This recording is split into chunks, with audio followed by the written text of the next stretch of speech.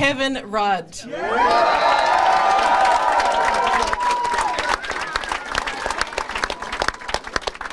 Kevin, I was your constituent. You were a fantastic local member.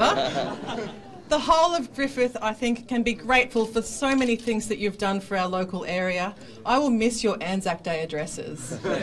I will. They were incredible. And I think that you are just the most supportive, most fantastic, most wonderful former member that any new candidate could ever, ever hope to have. So thank you so much. I'm really proud to be part of this Labor team. I'm really proud of this Labor Party. I'm really proud of all of you. I'm proud of the message that we sent to Tony Abbott and Campbell Newman today.